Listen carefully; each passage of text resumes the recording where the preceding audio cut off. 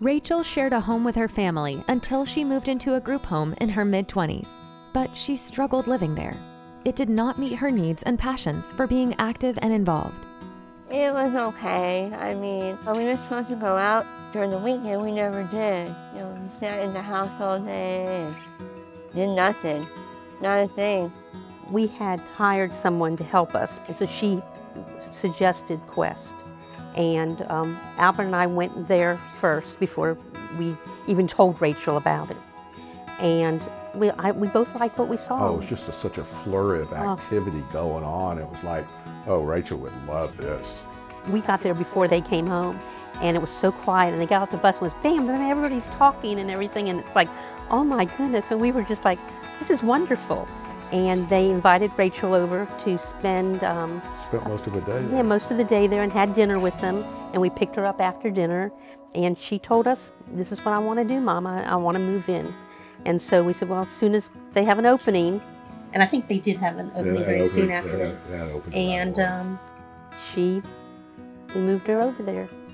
Although the COVID pandemic has impacted life at Quest, the level of activity and involvement has given Rachel a much brighter outlook on her life.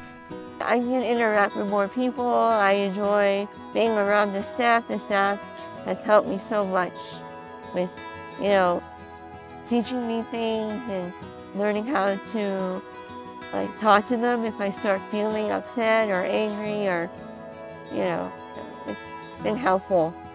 Basically, when Rachel is not doing anything, she gets bored.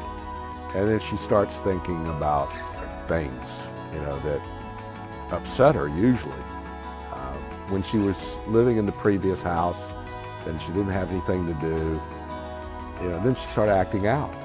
Uh, started having problems that she really didn't have, but thought she did, and it was because she was bored and because her mind would start thinking about things like that.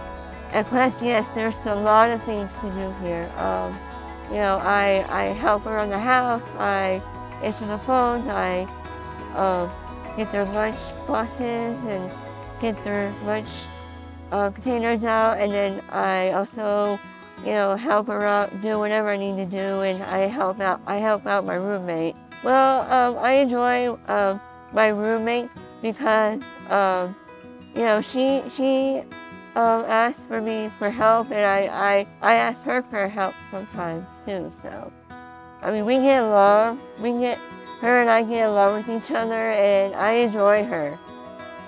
She she helps me constantly, and and I really appreciate her being there for me because you know your parent my parents are not there for me, you know, not at Quest, but you know they're they're there to you know help me too, but I need a I need a friend instead of my parents.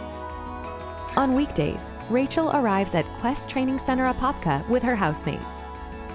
There, a variety of activities provide relaxation, meaningful social interaction, and skills development. New choices are added regularly to bring out the talents and abilities of individuals served, as well as offer a quality experience.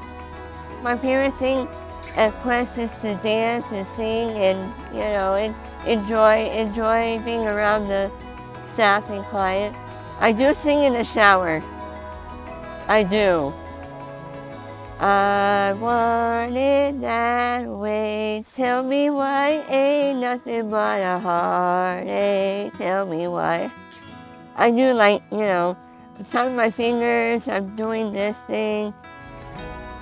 Thing here they uh, are teaching me how to, you know, be more independent and, you know, understanding things. Because sometimes it's hard for me to understand things.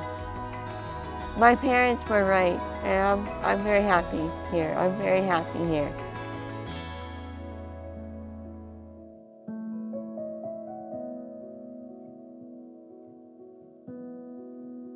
Well, I think being at Quest has been very helpful and made us calmer, knowing that she's in a good place. And it's just been the best thing that's ever happened to Rachel.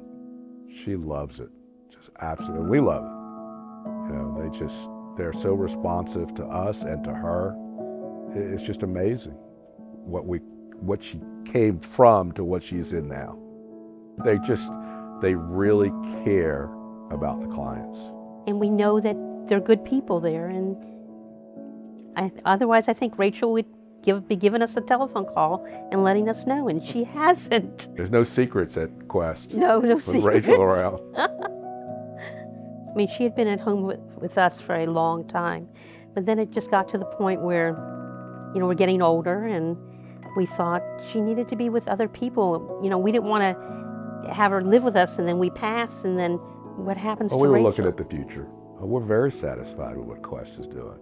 And we think that Quest is perfect for her in the future, too. We think that they have her best interests, you know, at heart and will do what's necessary, you know, to make Rachel's life enjoyable.